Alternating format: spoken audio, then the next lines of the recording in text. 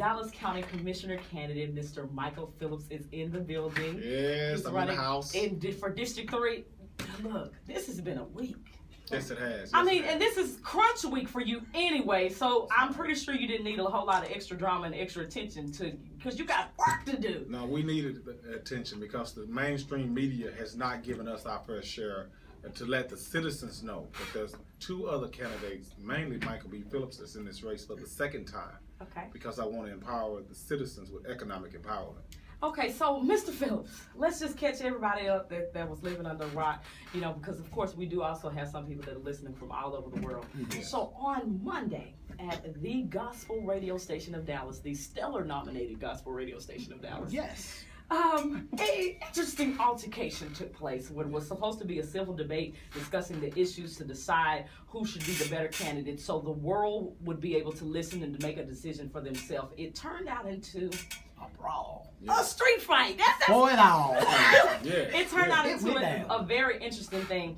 Um, current incumbent Dallas County Commissioner John Wiley Price, Mm-hmm. as well as Councilman Dwaine Caraway, got into a very interesting fisticuffs. Uh, Situation. You know what? I'm, I'm just gonna be honest and go ahead and say it. It's not the way civic leaders should Should handle. behave. You know, they shouldn't handle themselves in that manner. It's just really shocking and very surprising because I was expecting something completely, completely different. And so Mr. Micah Phillips and his team actually covered it all. And so we get to, we got an inside scoop. Everybody Yes, knows I love scoops. so we're going to talk about that brawl because I want to hear first, you know, hand, because everybody wants to know what happened. They want to know what the cameras didn't catch. So we're going to be asking you about that. Let's just get into things.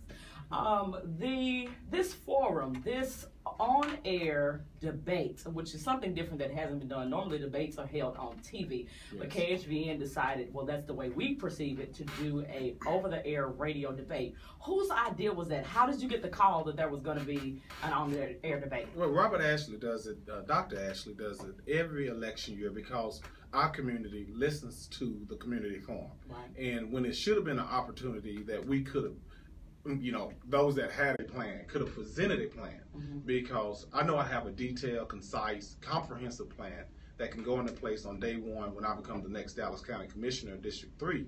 And so they, the citizens were robbed that the other day because I do believe that it was a political uh, strategy for Mr. Dwaine Caraway to look stronger than he did at Monday Night Politics against a very strong uh, community leader in uh, Commissioner John Wiley Price. And so um, I just think it backfired on him because he has never crossed that bridge. There's a lot of personal history that's there that we really didn't need to know about. That's But true. now the whole world knows about it, and Right. it does nothing for our community.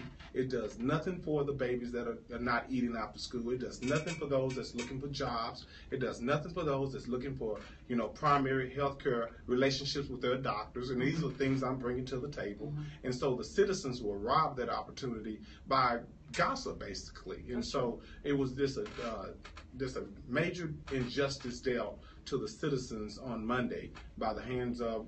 I, you know, you have to give Commissioner Price 25% and give Dwaine Caraway 75%. And so both of them did not act the way, we're not at the parliament somewhere where they are used to fighting as elected officials. And so we usually, you know, I give credit to Dr. Martin Luther King. He was able to use diplomacy.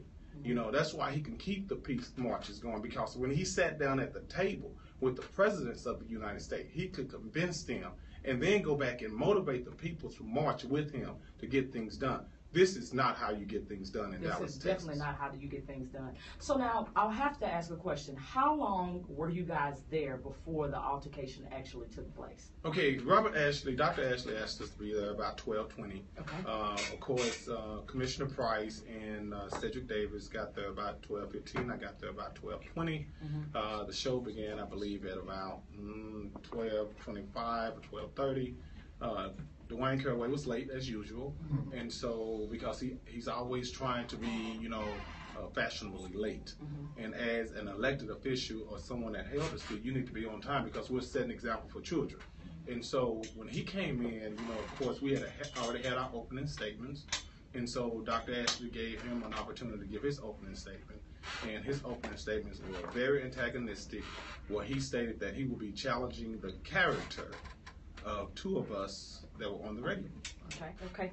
Now, a lot of us have seen the video. We saw the video that was directly posted on your account. Yes. What, you know, I've heard you say in a lot of press conferences that your team, they record everything. You know, even when we're here today, they record everything. So my question is, where is the beginning of the tape? Well, it caught us off guard. Okay. See, my team is only supposed to record my responses. Okay. Okay, and so while I was not the one talking, and so when we went on commercial break, no one was filming. Okay. And so when it erupted, when uh, Commissioner Price, after he asked him, you know, if you're going to tell the story about Sand Branch, tell the facts. And of course, that irritated Dwaine Caraway, and he made a uh, FUN comment. Mhm. And then, of course, Commissioner Price came back and called him a B or a punk or whatever Right. you want to say. Both of them, to me, were out of order.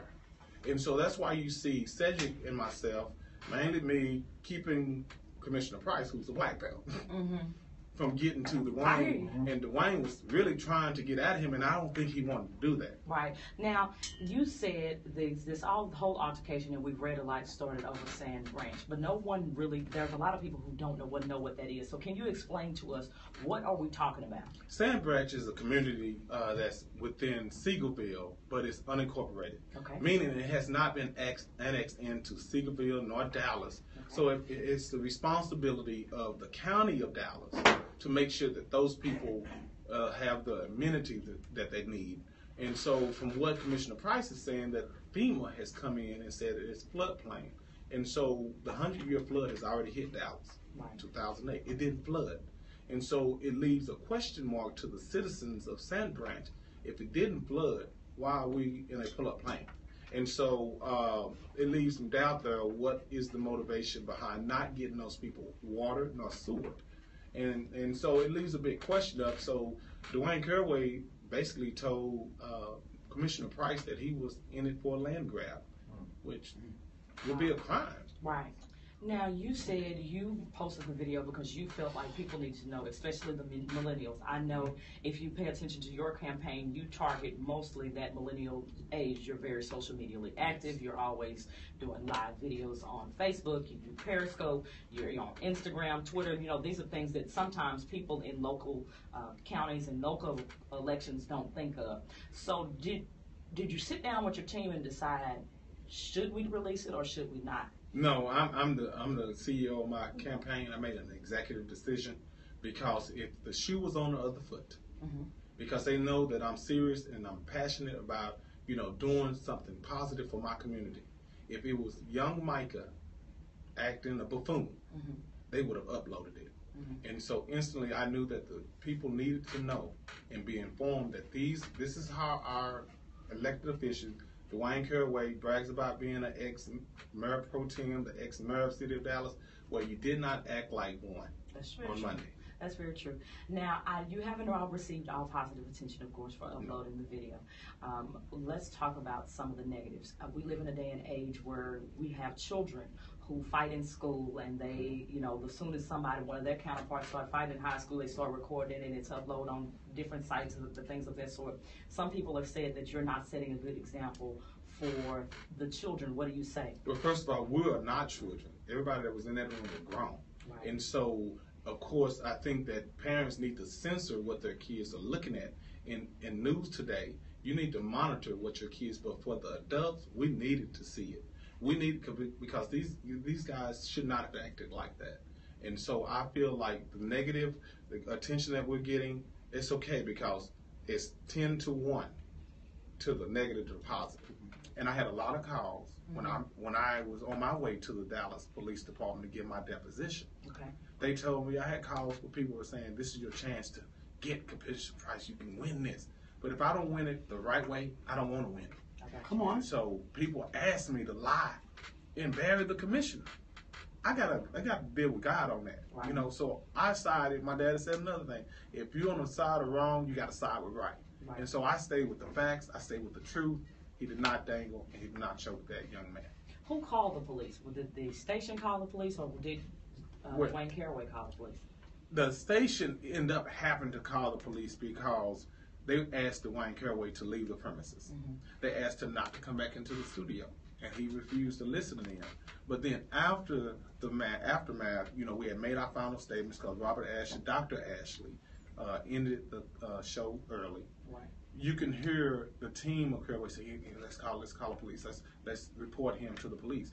Report who? I mean, the commissioner was not the aggressor, Mhm. and so that's just like when a woman calls the police on a man with domestic violence, and the man is not the aggressor in our community. That's another problem Right. the, the, the minority male goes to jail after someone makes an allegation and they to me they try to play on so many things that's a huge issue in our problem and use that to their advantage Well- well i can't say whether it's sincere god to give us the ability to judge a man's heart Okay. but it probably wasn't the best way to write the letter Okay. if you're trying to because i'm looking at this as an opportunity uh, for our, our community to begin healing Mhm. uh, because anytime you have bloodshed, and this was in, in the figurative, figuratively uh, role, that blood was shed, you have healing, and so uh, a cyst came to, to head that revealed bacteria. So now it's time to allow that to heal, mm-hmm. and let's move on from here. Let's unify.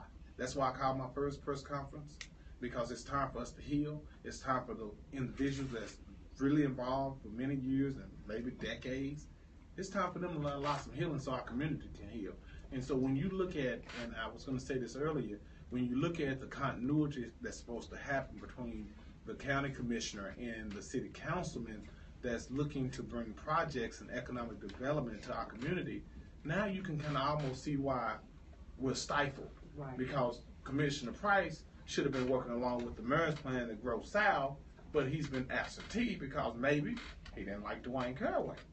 And so true. we have, you know, received the blunt of that, uh, that lack of, because since two, 2012, when I ran the first time, there's been so much development that our community has not received not one contract. We look at the $177 million that was set aside for minorities, and we have not received any of it. Over half of it has went to uh, Caucasian female companies, and we haven't received anything. Now, Mr. Phillips, you are a family man. I'm a family you, man. you are a pastor. Yes. You are a ex firefighter, and this is your second go round at Dallas County Commissioner. What uh, what made you decide to take another go at it? Because I just know the importance of county commissioner, and it's not that you know. If you look at President Obama, he lost his first ever election. I think to to me, I I learned more from losing than I you do in winning, and I take that from my sports world of you know uh, playing at Kimball High School, uh, being an athlete, All American, academic All American, and then going off to the University of Southern California where we, we took Kimball from a losing era to a winning era. We took USC from a losing era to a Rose Bowl championship era. And so when you take that mentality and you you learn from the, your, your losses, I learned a lot. That's why I'm, I'm using a very low budget uh, uh, campaign project or campaign uh, budget. And so I've taken about four thousand dollars and ran this election. And uh, people, I think, ought to appreciate that. And I learned that from last time. I spent eighty thousand dollars of my own money last time. And so, uh, to me, if the people are not giving financially, it's up to the people to say they're ready for change. And that's my different approach. I want the people to get excited, and I think it's happening right at the right time. Right in the nick of time. We only have a few more minutes. I want to make sure what is it that you want the people to know, that you definitely want them to know, that why Micah B. Phillips is the man for a job, is the man that is willing to bring a new day to Dallas County. Well, I just want them to know that you know my blood runs deep, my family blood runs deep, the Phillips family, and, and I wouldn't uh, be doing any uh, respect if I did not talk about my grandfather, late Doctor Reverend uh, C.J.R. Phillips Senior, and then my dad, the late Dr. Reverend A.D.R. Phillips Senior. They taught me a work ethic, Mhm. and uh, Commissioner Price has a work ethic. Well, I have a work ethic that I believe that will enhance what he has done. I'm not in competition with his work ethic. I think when you have work ethic, it's impeccable that you, you know, you make that it's infectious. And so I want our community to know that I'm going to be raising the expectations of our community to begin to have a work ethic and kind of remove ourselves from that welfare minded state because welfare is worse than slavery. It, it, it, shackles your mind and it lynches your work ethic. Mm-hmm. And so I want to be able to bring that attitude that the strong males in my family have infused in me. And then I will implement my plan, which is to strive for term limits that will force me to mentor the, the future generations to come, to fight to bring a level one medical trauma center to the southern part of Dallas. It was okay, it's great that we have a state of art of our Parkland Hospital north of the Trinity River, but I thought it was a travesty not to at least start building one or planning to build one in the southern part of Dallas because, you know, it, we don't have the medical relationships. People are dying when they go to Charlton Methodist, not because Charlton Methodist is a bad hospital. They're not a level one, meaning the surgeons nor the specialists are on hand. And so your loved ones deserve better than that. My community deserves better than that. And so when you have a stroke, you have a heart attack, that you don't need to be sitting there waiting while they're playing around with you and your medical bill is going up. And they're not telling you, well, we're waiting on the surgeon to get here. And your loved one end up dying in charge. So I'm going to rectify that. And then, of course, we're going to get the inland port going back. We're going to make sure that you have an investment into whatever we decide as a community we need I'm going to set that infrastructure into place. You know, the county commissioner cannot be a developer, but he can set the environment or the tone. I call it bid friendly, business friendly, investor friendly, and developer friendly. And on day one, that atmosphere changes. I present that plan where uh, the citizens can invest. I'm going. It's some unique things that goes on in America. Like in Arkansas, they they add a little optional tax line where you can contribute to public safety, I'm going to uh, uh, ask that they put an optional tax line that, it, say for instance, if your house is $100,000, dollars mm-hmm. that 10% of your house then will be what? $10,000. That you have an option to put that into shares so we can begin to build what we need. We're not going to be begging people to build in the southern part of Dallas. Okay. We are going to do it. And that's what I have to offer as your next Dallas County Commission. I like that you say it with a smile. yes. I'm excited.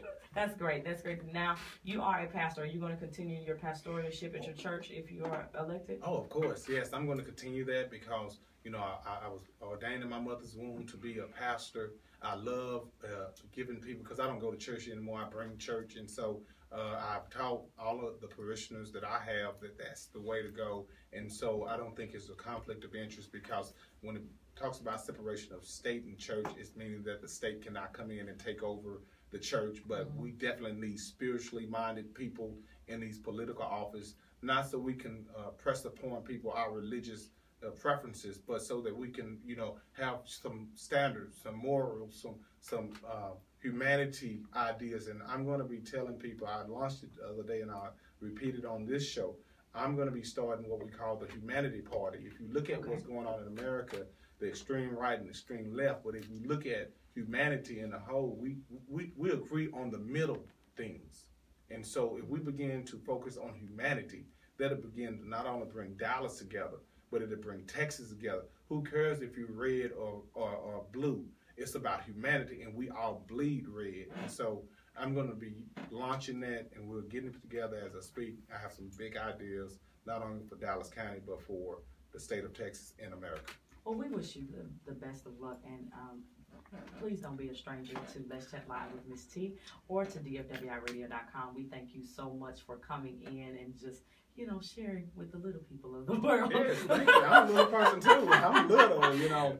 I'm a little person. I don't want. My dad says no big eyes and no no, no little U's. Right. And so that's the mentality I want to bring into the county where where you're not serving me as the county commissioner. I'm gonna serve.